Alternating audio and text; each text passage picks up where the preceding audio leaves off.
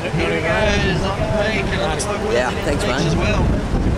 Smacking tail slide there from Dan Wills as Kelly Slater works his way through onto this little bit of shory. Close out there, loving the brown house. Sand peak. Wilsey right now, beautiful rocket snap there. Absolutely getting the tail right out. of Oh, just flying into that section, Pete. Oh, Mick Officer putting his hands together right now for Danny Wills, but those were two huge snaps by Dan Wills. Danny Wills again on his left-hander, goes vertical on the back and hooks it once, and waits for this inside connection, cuts back into the power. Kelly he's on that little 5-4 round, a big cut, 360. And smashing grab rail, cutting off the whitewash there. Kelly Slater.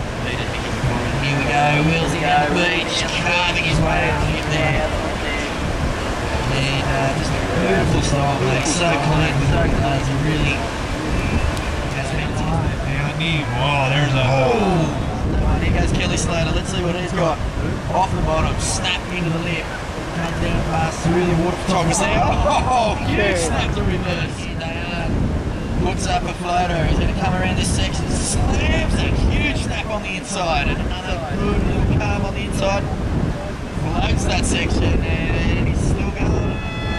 So there we go, interesting. I'm going to turn the microphone over to the legend Bruce Lee. And uh, thank you very much for having me, folks. And uh, enjoy your day.